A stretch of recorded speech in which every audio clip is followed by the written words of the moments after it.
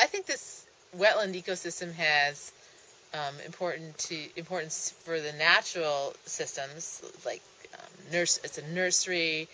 It's a um, it's a stopover site, and it also has um, and it's a water filter and purifier.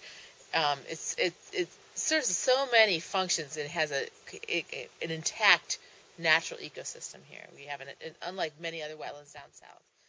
One of the really neat things about the Copper River Delta and wetlands, and you know, I think wetlands in general are just amazing places full of life. But the one thing that I think is the one thing I think is really neat about Alaskan wetlands, and specifically, one thing I think is really neat about the Copper River Delta is how people interact with the wetland. Not only is this this wonderful natural ecosystem, but people also use it for recreation as well as for harvesting. They, we get our fish from here. We go pick berries from here. People hunt moose. And they have a healthy respect for the type of bounty that's provided by this area.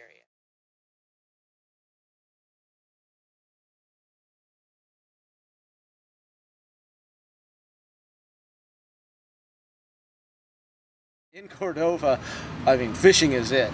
Um, the whole town's economy is based on fishing. We have the commercial fishery. We also have sport fishing and uh, subsistence fishing as well. Um, the commercial fishery is the where the, the main part of the money is. We have um, 450 gillnet permits. Um, and I'm not sure how many seine boats are out there. There's another 100 permits. But that's what really brings the, the money into the town. Uh, you know, they're catching out there wild salmon, um, catching and processing and shipping this uh, salmon, you know, all across the world. Another great thing is that we're connected internationally.